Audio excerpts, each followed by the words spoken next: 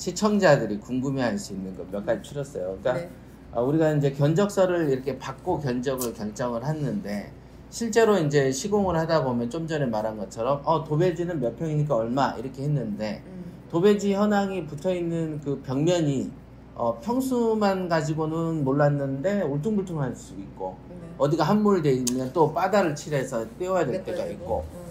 그 다음에 좀 전처럼 도배지가 막 2중, 3중 겹겹이 있다 보면은 뜯어내야 그거를 되고. 뜯어내는 인건비가 증가할 수가 있죠. 음. 그렇죠. 그러면 이제 그런 거는 아마 이 견적에 안 들어가 있을 거라는 거죠. 그렇죠. 우리 그런 거에 대한 거를 상정해서 미리 약간 부풀려서 견적이 나오는 건지. 그-. 그래서 이제 아. 이런 겁니다. 음. 현장을 답사를 해서 일일이 다 체크를 합니다. 음. 그랬을 때는 정확한 견적이 나올 수가 있어요. 음. 근데 사실상 아파트 같은 경우에는 평수만 딱 알아도 견적이 나옵니다. 대략 얼마? 근데 이렇게. 현장을 보자면 견적이 나오는 거죠.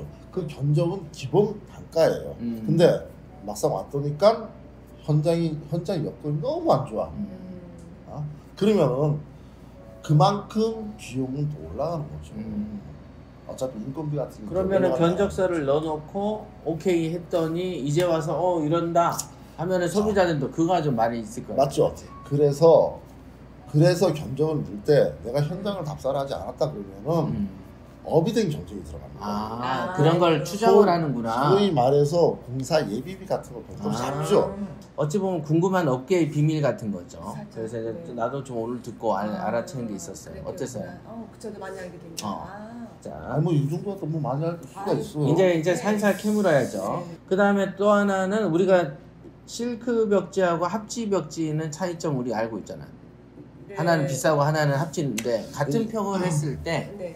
금액 차이가 얼마나 나요? 같은 30평 했을 때. 예를 들어서 합지를 붙이는데 부자재 값이 네. 뭐 천 원 들어갔다. 어. 그럼 실크는 이천 원 들어간다고 보셔야 돼요. 음, 그럼 인건비. 거의 이제 인건비도 음. 합지하고 실크는 거의 어, 한.7 정도 아, 거의 더 배네. 돼요. 음. 예. 이것도 이제 우리 팀이냐 뭐 남의 팀이냐 따라 이게 또 속도가 틀려. 음. 사람이 하는 일이기 때문에 음. 어떤 사람은 하루에 10평을 바르고 어떤 사람은 7평 바르는 사람도 있으니까 음. 이게 그렇기 때문에 요거는 이제 뭐 이제 일단 차이는 배에 가까이 옛날에. 그 광주에 그 우리 회원이 다가구를 했잖아요. 네네. 그때 이제 우리 소우 건축을 어, 소개하기 전에 자기가 이제 그 광주에서 알아봤던 어, 업체가 업체가 있었잖아요. 그래가지고 그때 우리한테 와서 불만을 이제 얘기했던 게 어, 하루에 도배를 한 방을 한다. 아 이틀인가? 네. 엄마랑 와가지고 조금 하고 가고 또 다음날 와서 조금 하고 그러니까 방이 많은데 이걸 미쳐버리는 거야 이게 그래가지고 중간쯤 하다가 소건축을 소개시켜서 내려가서 후딱 치워버리는 게 있었어요 일반 소비자들이 음.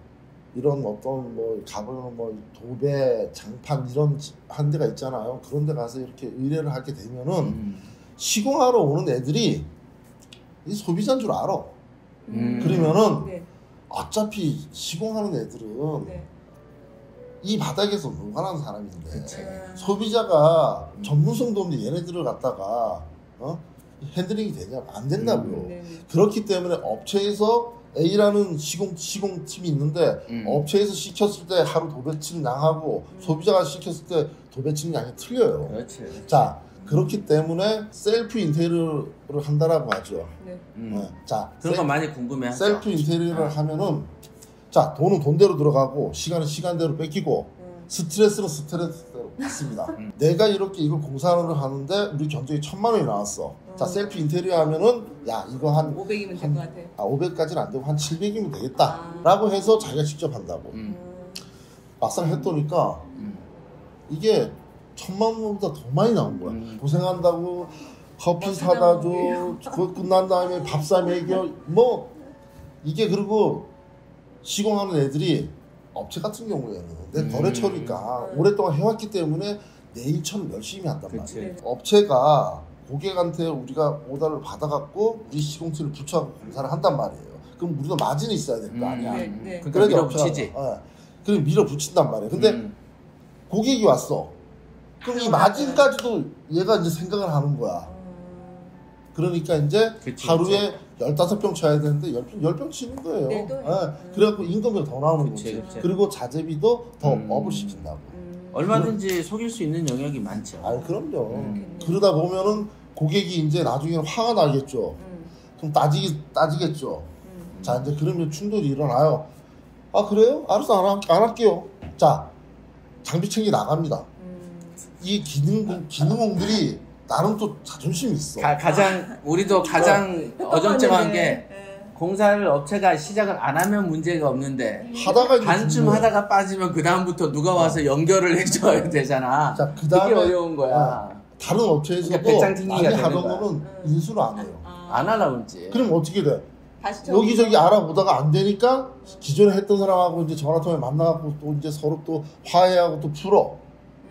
음. 결국은 그런 일 많아. 내가 돈 주고 시키는데 결국 내가 을이 된 거야. 아. 그럴 바에는 한 50% 넘기 전까지는 갑인데 넘으면 아. 을이 돼. 그런 그렇기 때문에 가끔 협박을 하잖아요. 어, 우리한테 협박 많이 하죠. 장비 뺀다. 아, 네. 아주 수없이 가장. 어정쩡하게 이렇게 구성이 막 딱 봐면 누더기 같은 네. 집인 상태에서 빠져버리면 골 때리지. 그렇죠. 그래도 뭐 나는 책임감을 가지고 열심히 해드렸는데 자, 자, 그러면 이제 마지막 질문. 네. 아까 로얄에서 등장했던 게 아파트 베란다에서 아까 나왔던 한성. 수성 페인트하고 탄성 코트라는 게 있는데 그러면은 나는 이게 처음 딱 느끼는 게 가격과 효능.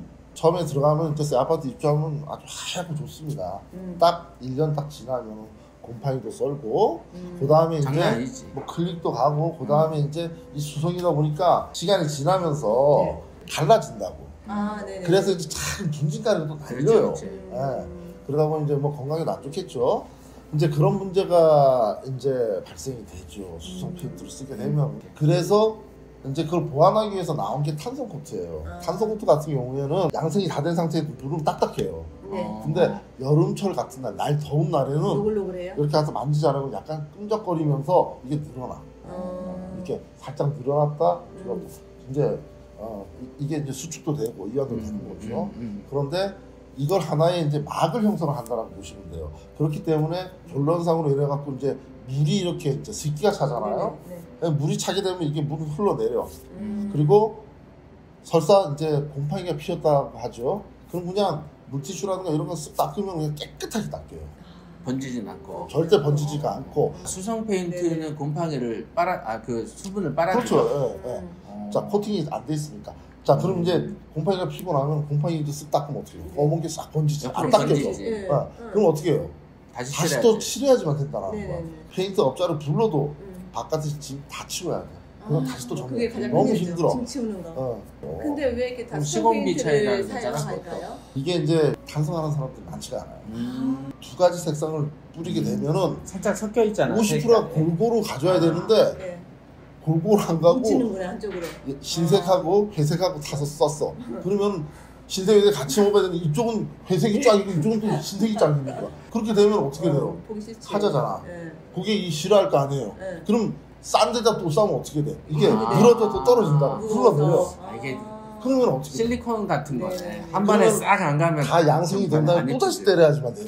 단성 뿌리는 기술 그런 이제 노하우 부분도 있고 단가적인 부분도 있고 이래서 이제 탄성을 많이 안 했지. 그렇지. 그래서 그 기본적으로 부도자가 하나 더 있어야 되고 그 다음에 재료대도 비싸고 예. 잘못 쏘면은 또 하자 나서 다시 해야 네. 되는 점이 어려우니까 비쌀. 수밖에 없고 그러면은 우리 같은 노얄이 되게 이제 작고 좀 어찌 보면은 시골에 그 저렴한 아파트인데 네. 여기에 베란다에 탄성이라는 걸 딱 결정을 한 이유가 있어요. 지속성. 아까 제가 말씀드렸죠. 아까 말한 것처럼 오래 이걸 가지고 있을 거냐. 보유를 얼마나 할 거냐. 음. 자, 예를 들어서 5년을 보유, 5년은 보유를 한다라고 내가 얘기를 들었어요. 네. 음, 계약을 했어. 전월세 들어왔어. 네. 2년 있으면 나갈 거 아니에요. 네. 그럼 또 곰팡이. 자, 그때 공판 시즌 어떻게 해? 또 페인트 다시 쳐야지. 해줘야지. 칠해야죠. 음. 자, 두 번 칠할 값이면은 음. 탄성 칠하고 남습니다. 그러면은 우리도 노얄을 이런 거 하고 일반적인 인테리어를 했을 때 우리 네. 회원이 이제 예를 들면 음. 빌라인을 좀 해달라 했어. 네. 그걸 했어요. 자 그러면 하자 보수라는 게 있어요 여기도? 그렇죠. 검- 거- 언제까지 뭐 어떤 자, 조건이 있어요? 기본적으로 하자 음. 하자 보수 AS 기간은 기본적으로 1년입니다. 1년. 근데 1년인데 거기에서 음. 이제 기본적 등 전등 전등이 전등 이제 같은 중간에 꺼졌다. 3개월. 그다음 전등 전등 있고 또 AS. 다 AS가 되죠. 아 모든 게 그렇죠. 도배 도배도 도배는 애기가 이렇게 하다가 긁었어. 그거는 시공을 잘못해서 발생된 거는 음. 에이스가 되는데. 고객의 부주의로 인해 갖고 홈쇼핑 발생된. 거는 음. 절대 업체에서 책임을 질 네. 수가 없죠. 아, 그게 이제 예. 있구나. 어, 설계를 잘 떠야 된다. 자, 그거는 업체와 고객의 소통이 원활하게 잘 이루어져야 음. 그 이게 가장 중요한 겁니다. 이해할 예. 수 있겠네요. 그렇죠. 그러니까 우리 서건주 같은 경우는 이 소통이 참 잘 되잖아요. 그래서 아주 잘 되지. 우리가 그 제 별명이 우리는 돈? 일부 줘놓고 네. 몇저 개월. 쉬었다 다시 공사도 해도 돼. 아, 이렇게 소통이에요, 언제든지 소통. 늘었다 네. 말았다 하는 네. 그게 됐네. 이제 그래서 아. 처음에 음. 처음에 방향 음. 방향을 선택하는 게 가장 방향성 중요합니다. 인테리어 할 때 아, 어떤 오케이, 방향을 오케이. 할 것인지 방향성 네. 인터뷰인데도 어, 많은 말이. 많네요. 음. 그래서 내가 중간에 많이 잘라내고 애를 썼어요. 네. 왜냐면은 요약을 빨리빨리 전달을 해줘야 네. 이 또 우리 소우건축을 다음 인터뷰를 기다리고 질문도 던지고 아, 그때 네. 또 해주죠. 많은 것을 좀 듣게 된 아니. 되었어요. 아 얘기 우리 아나운서 얘기 좀. 하- 아, 나 많이 멘트 던지잖아. 아니 난 마지막으로 아니야 뭐야? 마지막 뭘 또 하려고? 아니 돼. 우리 이렇게 소통이 안 돼가지고 이거 되겠어요? 아니 어, 빨리 끊고 이제 또 가서 또 촬영해야 되니까. 자 어. 자 인사 아니 마지막 얘기하세요. 한마디. 어. 네. 잊어먹었어요. 끝나는 거야? 그래 다음에 또 있잖아. 아, 지금 같이 다음에 질문들 몇 가지를 계속 네. 인터뷰하는 거를 향후 계속 이 추진하도록 방송이 하죠. 나가고 나서 미국 아, 생각났다. 분들이 어머네요. 하시죠. 좋고요. 자, 알겠죠? 진행하세요. 뭐 궁금한 거 인터넷에 대해서 댓글 좀 달아주면 좋을 것 같으네요. 그런 질문지 가지고 또 궁금한 사항을 다시 한번 또 여쭤보는 2부 시간을 가지면 될 것 같고 알, 좀 알게 되면 눈팅이 어, 나도 일 좀. 알- 많이 알게 된 거예요. 네. 여태까지 믿고 그냥 갔는데 음, 음, 들어본 궁금했던 걸 들어보니까 음, 네. 아 이해가 된다. 네. 어설프게 알면은 더 눈탱이를 더 쉽게 맞을 수가 있어요. 약간 아 이제 끝내자고. 아 그래요? 자 다음 시간에 그래서 네. 어, 시간이 어떤 게 좀- 있냐면 어, 회원들이 갖는 인테리어에 대한 관념을 오늘 이 방송만 네. 내가 봐서는 한 3회독 하면 네. 어, 알 것 같아. 네. 약간 뉘앙스도 나왔어요. 어, 싸다고 좋은 거는 아니라는 느낌 이제 확실히 알 것 같고 네. 그렇죠. 그 견적과 현장을 봤을 때 다른 어떤 현장이 달랐을 때 오는 추가 견적에 대한 범위 아니, 요걸 알것 같아요. 그다음에 내가 보유에 아, 대한 어떤 보유하는 기간에 따라서 전세냐, 내가 약간 단가가 비싸더라도 오래 가는 거를 해야 네. 된다. 아, 마지막 정리를 하면은 네, 정리해 주세요. 어, 어, 정리를 하면은 네. 인테리어 그래서- 이 방송의 자, 장점에 대한 네. 자 그래서 떠들어도 소통이 중요하다라는 편집할. 수 있어. 결국은 핵심은 음. 그 소통이라고 하시네요. 그 소통을 그렇죠. 통해서 가격 조절도 되고 어떤 자재를 사용하고 있는지를 아. 또 명확하게 알 수 있는 아, 그- 거니까. 그 렇죠. 네네. 그러니까 이제 나는 이제 아까 말한 몇 가지 그 인테리어 상식에 대한 정보 전달 오늘은 그걸로 네. 어, 이렇게 아주. 유익한 인터뷰였다 라고 볼 수 있습니다. 네. 그럼 박수 한번 치고 우리 노엘로 건너가 볼까요? 네. 자. 그 다음을 이어가겠습니다. 오케이 수고하셨습니다. 아우, 좋은 상담이었습니다.